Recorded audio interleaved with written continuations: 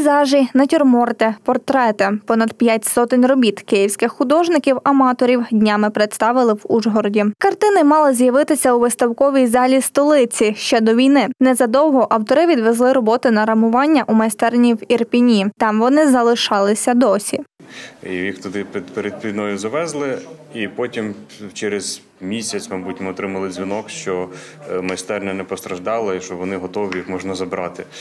От, і ми, враховуючи те, що ми самі вже не були в Києві, ми там певним чином домовилися і визволили ці картини, забрали, ну і е, переправили на Закарпаття. І тут займаються разом з цією групою скажімо так, е, арт-терапією, і результатом того є певні роботи, які ми тут створюємо. Тут немає жодної роботи про війну, лише про життя, розповідає один із авторів. Картини малювали під час арт-терапії, і вони не схожі на звичайні роботи. Е, надзвичайно щиро, не так, як це прописують канони, і в цьому відкриваються ще ті особливі погляди, які доповнюють і наш світ е, з вами.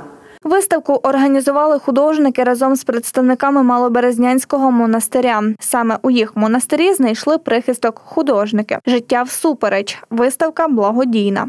Таким чином хочемо долучитися як церква до благо- благо- благородної справи, е, допомогти нашим військовим, а саме медичній евакуації, яка, на яку будуть скеровані ці кошти, зібрані на цій благодійній е, виставці.